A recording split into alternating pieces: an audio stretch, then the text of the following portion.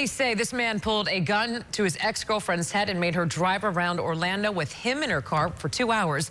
But a mistake police say he made gave her the opportunity to escape. At one point, they even stopped to pick up her kids, making them part of all of it. That's right. The suspect went before a Seminole County judge this afternoon.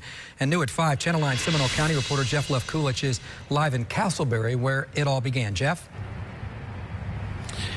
And Greg, according to the report, the suspect camped out in the victim's car in her back seat all night long at this apartment complex here in Casselberry. Now, when the victim got into her car in the driver's seat, the victim claims that she was ambushed by the man, and then they drove around for two hours around Orlando at gunpoint.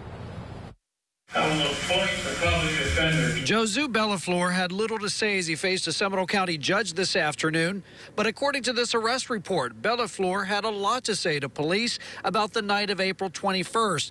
He told investigators he went to this apartment complex in Casselberry and spent the night in his ex girlfriend's unlocked car after he suspected her of cheating on him. He waited inside the car, drank a bottle of Hennessy, and then used it to go to the bathroom. When she went to get into her car that morning, Bellaflor confronted her. While Bellaflor claims he got out of the car to confront her, the victim told investigators Bellaflor grabbed her from behind when she got into the car.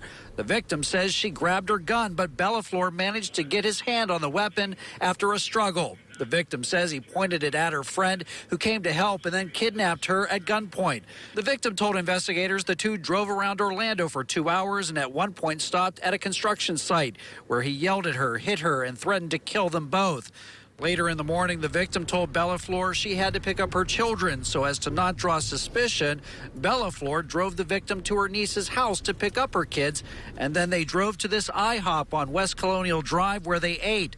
When Bellaflor walked outside for a moment, the victim asked the waitress to call 911. Now, Orange County deputies arrested Bellafleur, and he was charged with a domestic violence uh, charge in Orange County. He was brought back to Seminole County, where he's facing a slew of charges, including kidnapping, aggravated assault with a deadly weapon, and burglary, burglary with an assault. Reporting live in Casselberry, Jeff Levkulich, Channel 9 Eyewitness News.